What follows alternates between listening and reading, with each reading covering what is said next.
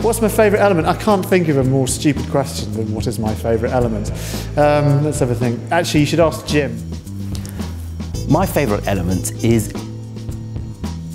Hello, it's uh, Dick and Dom here, um, and we're obviously uh, the big scientific experts here to tell you about our, our favourite element.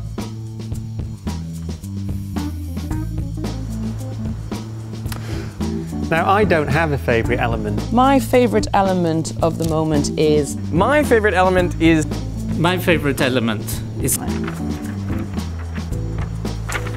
My favourite element is You only need a very small amount of it to actually generate a lot of energy. So it sort of has the same texture as, as a hard cheese. Literally, you drop it. This stuff sticks to steel just incredibly strongly. oh, you see a beautiful green light. I mean, you know, you can't really knock an element. I'm not sure I have a favourite element. It's a really hard question. Excuse me while I suck on this balloon.